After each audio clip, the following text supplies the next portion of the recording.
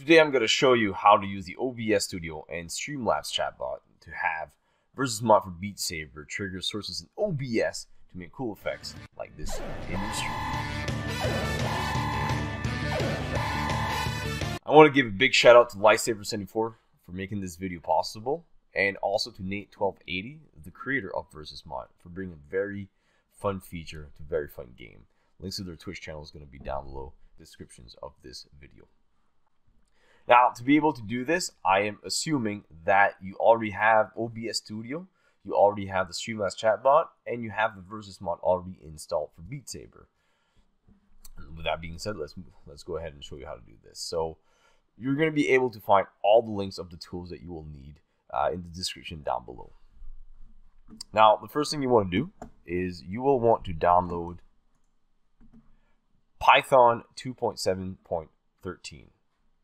Uh, just grab the Windows x86 MSI installer. Not sure if some of you use this Macs, but if so, you probably want to just grab the right uh, bit version for it. Just download that, and once you have that downloaded and installed, it's going to appear in your C drive as Python 27.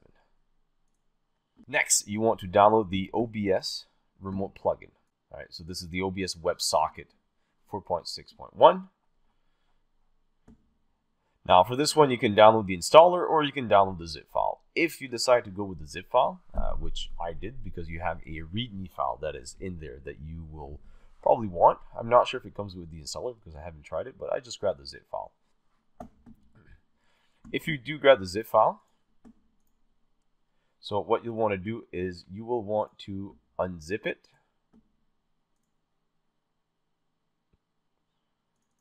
In your C drive, program files, and then your OBS Studio. You just want to just unzip it in here.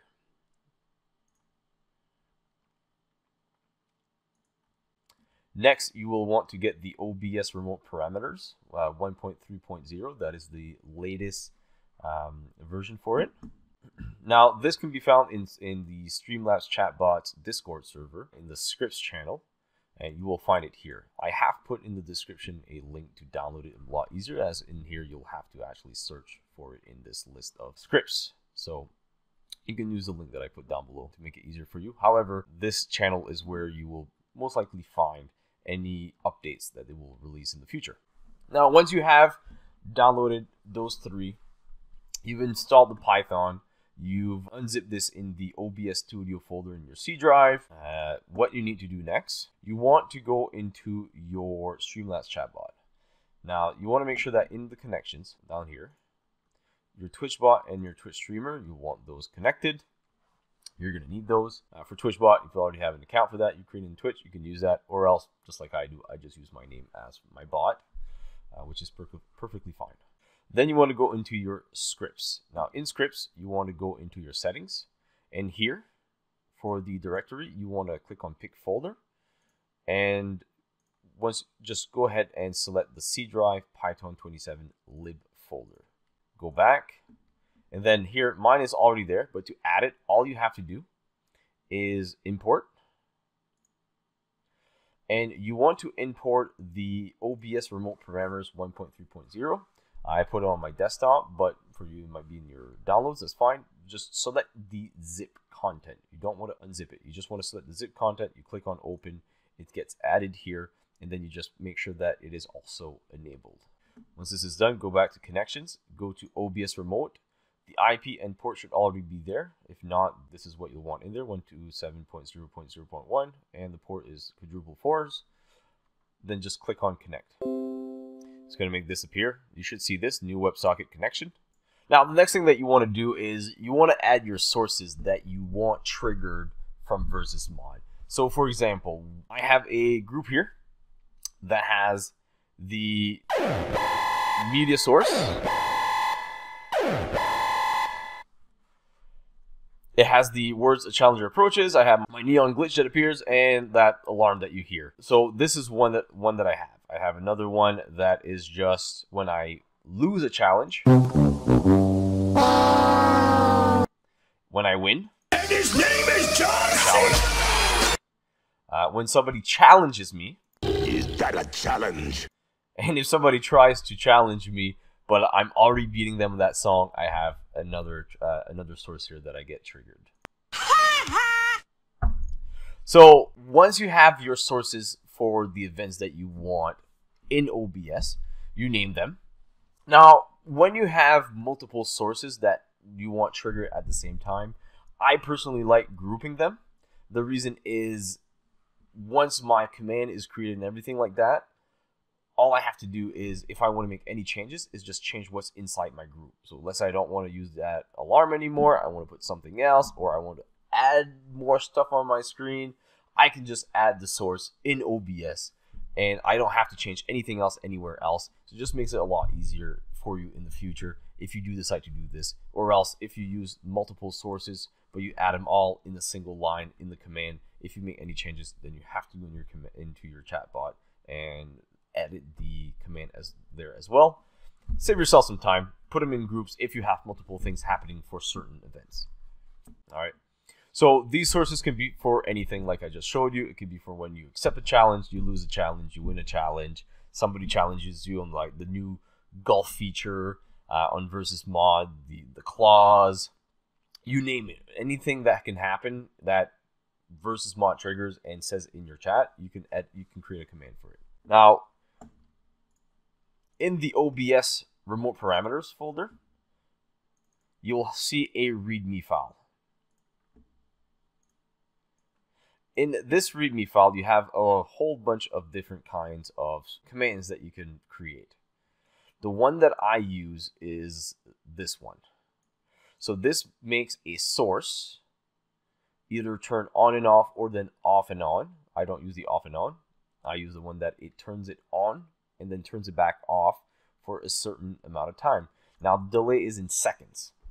Right, so you so for delay you would put how much seconds that you want. So what you want to do next is if you go to your C drive and you go to your program files x86 go to Steam, your Steam apps, Common, Beat Saber, user data, and Versus. And if you scroll all the way down, you will see your custom strings. Now, in here, this is everything that could that Versus mod can put into your chat. So, for example, if you've lost the challenges, it, it says this. If you fail the challenge, it says this. If you accept, if you concede, if you haven't played uh, and somebody challenges you, if you have played it and somebody challenges you, you're already beating them, it's already, you know, like anytime any of these, you can decide which one that you want a, a trigger to happen for sources in OBS. So I'm going to be working with the accept just to give you examples of how I've done it. So when I, I accept a challenge, usually it would only say this, but I've put my command in front of it. And I'm going to show you how to do that. So now that I've decided a command that I want to do, you would create a new command. I already have one, so I'm going to show you how I've done it. So usually you would just come here to add, and you would create a new command. Now the command itself uh, you can name it anything you want. This can be literally anything that you want to name it. That is fine. I've decided chal ACC, uh, ACC just for challenge accept uh, accepted. This is how I did it for uh, just to organize myself. Now for permissions, it has to be user specific, and you have to put your name. Okay. Or else, and if you put everyone, everyone would can just type this, and then it triggers it each time. But the versus mod will use your name, and it'll use your name in chat for you and it'll put the phrase there for you. So what you want to do then is just use your name because when you say that in chat, it triggers the command. And now the command, like I said, you have it's the dollar sign OBS time source, like I showed you that I use. It's the source, which is the group. So in this case, in this case, so I want the group to trigger. Okay, all of them. So I selected the group. Okay, so this is already off and this is set that the mode is on off. So it turns it on and then it turns it off after five seconds. Once you put all of this in, you would click on submit and you have your command there. So what you want to do next is then you come in the custom strings and that new command that I just created, which is the chal accept, I put it at the very beginning of the phrase that I want it to trigger. So for accept, so when I accept a challenge, I want this command to trigger. You put it after the quotation, and you put the command name right in front of the phrase. So now what happens is that this gets told in chat by me because of versus mod, and this makes this command trigger. Now I should have mentioned that you have to put the, you have to put them in the quotation marks uh, in between the, like the source mode and the delay. You remove the brackets, but you, you, you put them in between the, the quotation marks. So each time that I accept a challenge, this gets set into my chat, which triggers this, which the action is to turn this on for five seconds. And then it turns it off. Okay. Now, note that versus mod, for certain things, it has like more than one string for it. For example, when somebody challenges me and I have not played it, or that I have played the song already, there's a string for each of those two different scenarios. So, for example, so I did create my challenge. Uh, when somebody challenged me, it plays the sound that uh, is that a challenge? But I to make sure that it happens each time that somebody challenges me, I put my command in front of both of them. So this command is the one right here, and it's set up to trigger my versus challenged. This one. So each time somebody challenges me in chat, is that a challenge? This gets triggered. Okay. So that is pretty much it about it. So all this, and like I explained, all this works because versus mod will now say that phrase on my behalf in my Twitch chat. So since the command will be at the start of the phrase, it'll trigger the command and trigger the sources for the how I've set it up using the OBS parameters this new plugin here. So I hope you have fun with this. Don't forget to join the Versus Mod Discord. It's going to be in the description of that as well. Uh, if you haven't already done so, if you have further any questions, you can go in there and talk about the Versus Mod and things like that. Uh, and you know, and, you know, just to share the love of competitive Beat Sabers with your friends. You know, show them really who's boss. All right, MBD out.